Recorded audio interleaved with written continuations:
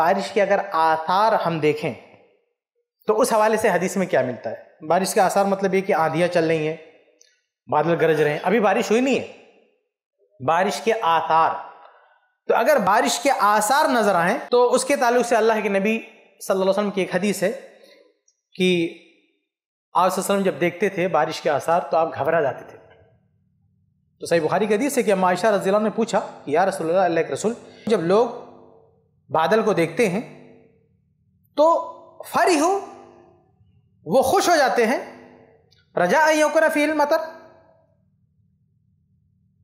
इस उम्मीद पर कि उसमें बारिश होगी। वो आरा का इदारा आई तो हो उरीफा फ़ी वजी कल कराहिया। और मैं आपको देखती हूँ हम आयशा रवायत करती हैं।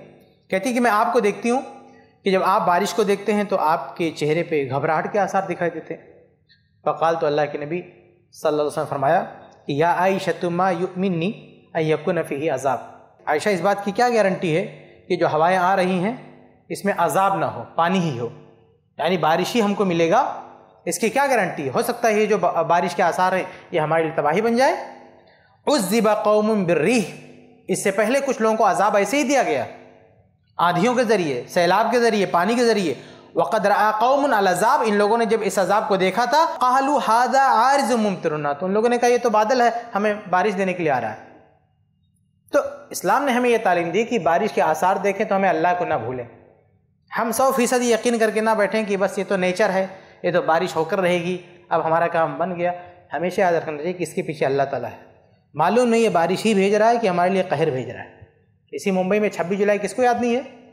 जब छब्बीस जुलाई की वाली बारिश के जब आसार हमने देखे थे तो किसी ने सोचा था कि इतनी तबाही फैलेगी? साल साल से लोग यहाँ रहते हैं। कभी किसी ने नहीं देखा कि कुरला पानी में डूब गया हो। लेकिन वो एक हर साल की तरह से उस साल भी बारिश के आसार आए, लेकिन पूरी तबाही मच गई। हमें नहीं पता। तो वही तो नबी ने सिखाया।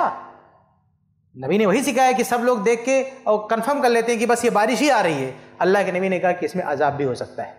इसलिए एक मुसलमान को जो है, अल्लाह ताला से दुआ करते रहना चाहिए। और अल्लाह ताला की कुदरत को नहीं भूलना चाहिए। बारिश के आसार देख के ना भूले कि इसके पीछे अल्लाह ताला है। वो ये बतौर रहमत भी भेज सकता है, बतौर अजाब भी भेज सकता है। ऐसे ही फ़ायदेमंद इस्लामिक वीडियोस देखने और मनहज सलफ़ पर किताब व सुन्नत की तालीमत को आम करने में हमारा ताउन करें, ताकि आपके लिए ज़रिया नजात, जन्नत के हसूल का सबब, साथ ही माल में बरकत व इजाफे का ज़रिया भी बने। आमीन। जजाक खैरन।